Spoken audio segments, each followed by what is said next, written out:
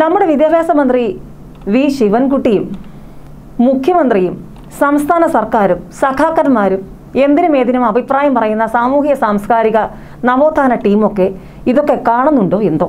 എന്തായാലും ശിവണ്ണനും ടീമിനും ഇങ്ങനെ പോയാൽ എട്ടിന്റെ പണിയെന്ന് സോഷ്യൽ മീഡിയ ഓർമ്മിപ്പിക്കുന്നുണ്ട്. നിയമസഭാ കയ്യാങ്കളി കേസ് അല്ല ഇത്. ഇത് അതിനേക്കാൾ വലിയ കളിയായി മാറും. കാരണം പുതിയ വാർത്തകൾ കേട്ട് ഞെട്ടിത്തെരിച്ചിരിക്കുകയാണ് കേരളം. സംഭവം നോക്കാം.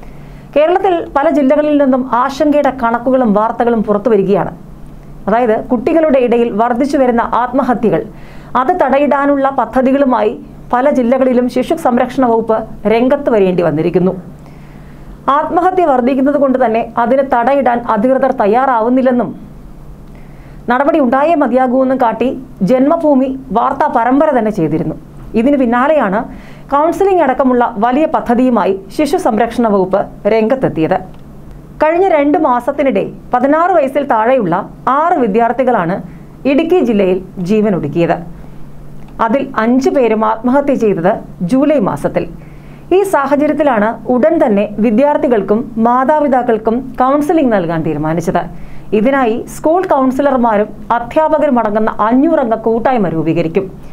ഈ കൂട്ടായ്മയിലെ അംഗങ്ങൾ പ്രശ്ന സങ്കീർണ കുടുംബങ്ങളിലെ കുട്ടികളെയും മാതാപിതാക്കളെയും നേരിൽ കണ്ട് കൗൺസിലിംഗ് നൽകും.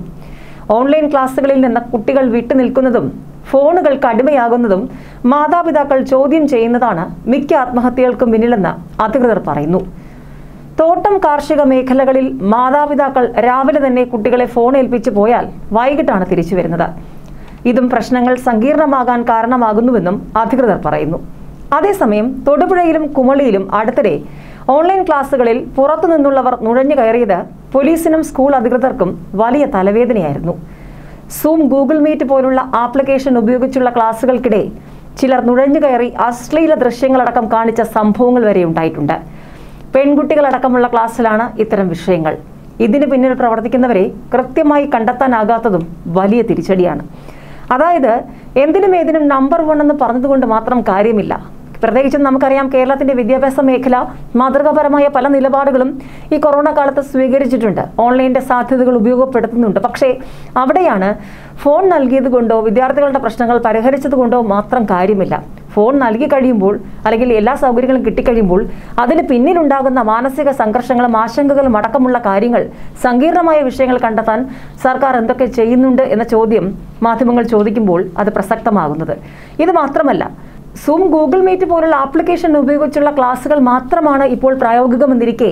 ഇനിയുള്ള നാളുകൾ കൂടി അങ്ങനെ തന്നെ പോകാനാകൂ എന്ന് വിദഗ്ധർ പോലും പറയുമ്പോൾ പെൺകുട്ടികളടക്കമുള്ള ക്ലാസ്സുകളിൽ പല സാമൂഹ്യ വിരുദ്ധർ നുഴഞ്ഞു കയറുന്നതും പല ആപ്ലിക്കേഷൻ ഉപയോഗിച്ച് ക്ലാസ്സുകൾക്കിടെ നുഴഞ്ഞു കയറി അശ്ലീല ദൃശ്യങ്ങളടക്കം കാണിക്കുന്നത് വലിയ തലവേദന തന്നെയാണ്.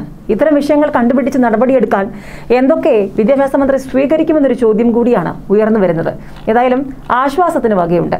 തൽക്കാലം കുട്ടികൾക്കിടയിൽ വർദ്ധിച്ചു വരുന്ന ആത്മഹത്യ തടയാനുള്ള പദ്ധതിയുമായി ജില്ലാ ശിശു സംരക്ഷണ വകുപ്പ് വന്നു എന്നത് ഒരു പ്രതീക്ഷയാണ്. കൂടുതൽ നടപടികൾ ഉണ്ടായില്ലെങ്കിൽ നേരത്തെ സൂചിപ്പിച്ചതുപോലെ നിയമസഭയിലെ കയ്യാങ്കളിയും മറ്റു ചോദ്യങ്ങൾ പോലെയുമല്ല. അതിനേക്കാൾ വലിയൊരു ചോദ്യമായി കൂടുതൽ പേരുടെ ആത്മഹത്യയിലേക്ക് കാര്യങ്ങൾ നീണ്ടാൽ വലിയ വെല്ലുവിളിയാകും.